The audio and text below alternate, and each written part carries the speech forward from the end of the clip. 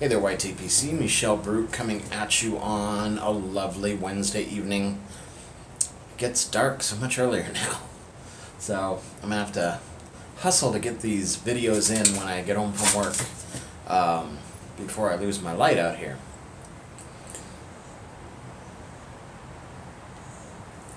Anyway, hope you guys are doing really well. Before I talk about the tobacco, I have my Fallon pipe here with its beautiful amber stem and its lovely, lovely grain. Love this pipe.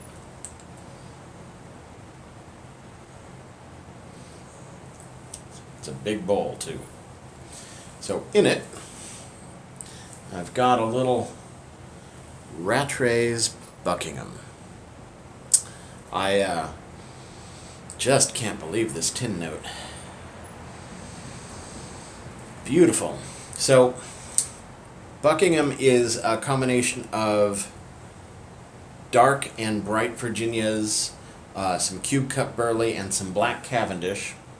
And it is an aromatic, and it's flavored with um, hickory nut, cinnamon, vanilla, and some people say a little bit of bourbon or whiskey. I don't know if I taste that quite yet.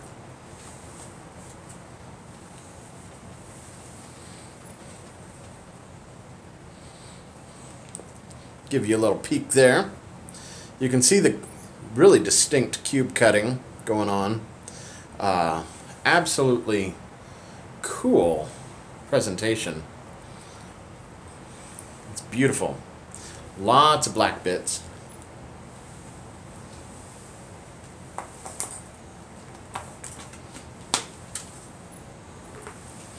But you know, this isn't an overly, despite the description I just told you of what it's made out of, it's not an overly topped aromatic.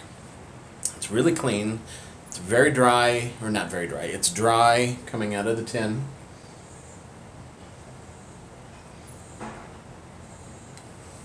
It has a familiar uh, tin note that reminds me of all of the Kohlhase and Kopp uh, products, which Rattray's is one of the things they make. They also make my favorite Vauen tobaccos as well.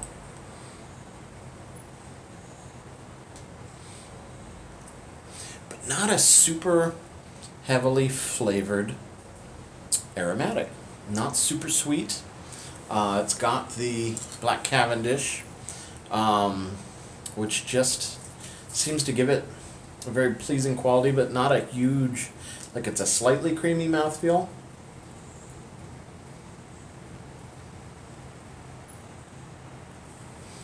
The vanilla is not totally ramped up.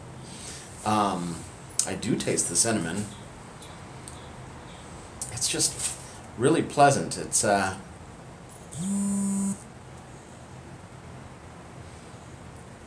it's not like a bakery sweet roll. It's more like a cinnamon bread kind of thing. Uh, a little more on the savory end than the sweet end. Mm. I uh, I do think I could have packed it. Actually, for once, think I packed it a little too light. Um,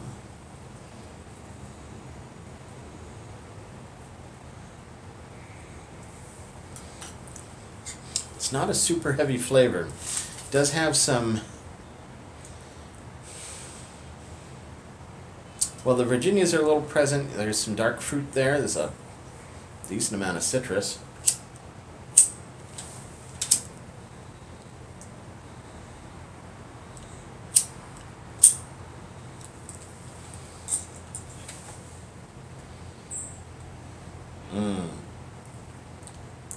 Got a lot of citrus on the light. Um, but yeah, it's uh, it's a hard one to describe. It's it's more subtle than I was expecting.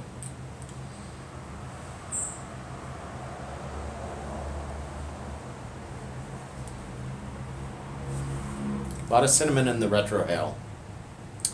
Um, I think the burley is nice and just kind of nutty and provides a richness.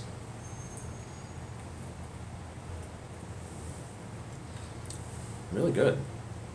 Yeah, I was I was really kind of prepared for like a full blown aromatic experience, but this is uh, and and that quite often is what you get with the various Vauen uh, aromatics, and I like that. I did read some somewhere somebody actually said that this is something that someone who smokes in English um, could also appreciate, and that's probably true. But I don't think there's any Englishy qualities to this.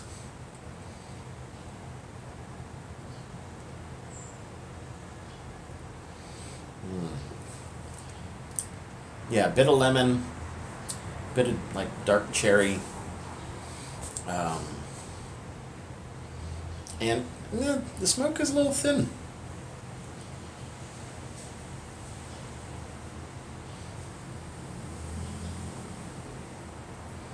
Mm-hmm.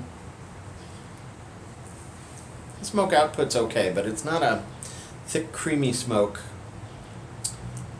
Hmm. This is a big surprise compared to the tin note.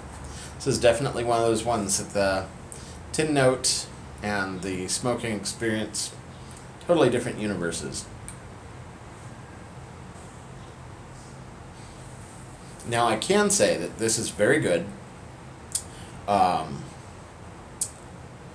I am a little disappointed, as you can probably tell. Uh, not because it's bad, but because it's not what I was thinking it was going to be. I would actually, you can see, they put like a, a little flavoring strength and room scent rating on the back. I would actually say that the flavoring's pretty light. The strength well, we'll find out about the nicotine in a little bit, but certainly the body of the flavor is pretty light.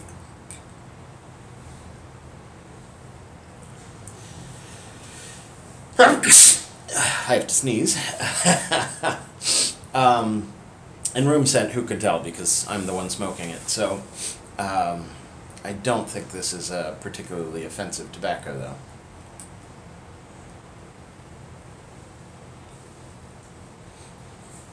I'm gonna have to wrap my brain around this one.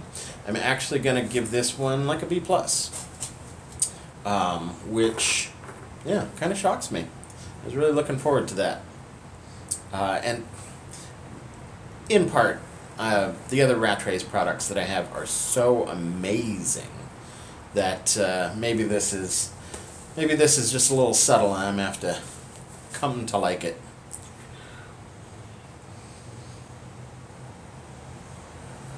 If you've tried Rattray's Buckingham, please leave a comment down below and let me know what you think. Um, again, I highly suggest it. It's, it's good. I would definitely say that someone who doesn't like a really full strength, robust flavor, they want something a little more subtle, this is definitely a good place to start. Um, huh. This may be the lowest rated Rattray's product I've tried.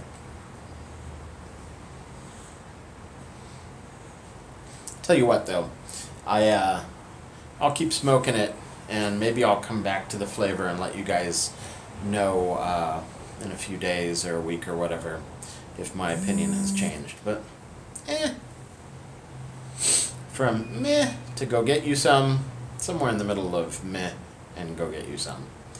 Uh, how about go ask a friend for a taste? And then see if you want to get you some.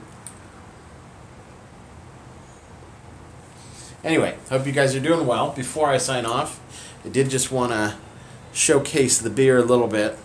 New Glarus. They're known for something called Spotted Cow, and this is a special limited time version of that. Spotted Cow and all the New Glarus products are available only in Wisconsin, and their their motto is "Drink Indigenous." Um, you can see that the Wisconsin shape is part of their logo.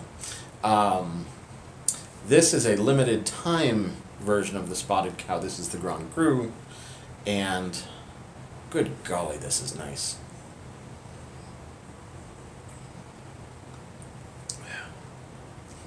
See, that's full body.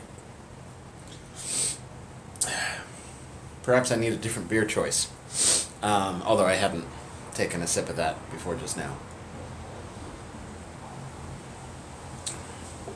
So if you're in Wisconsin or on one of our borders, like Illinois or Minnesota or Canada, uh, then uh, or Michigan, uh, definitely cross the border and get some Grand Cru spotted cow while you can. It's good stuff. Anyway, be well, Zygazint.